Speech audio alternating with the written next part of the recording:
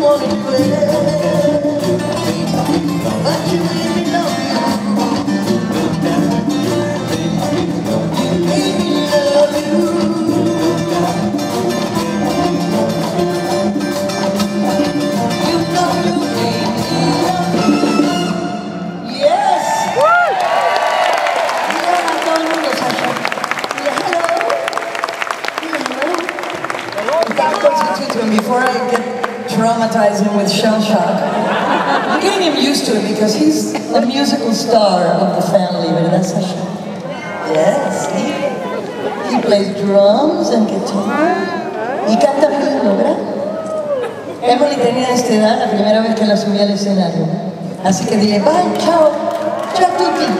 Bye.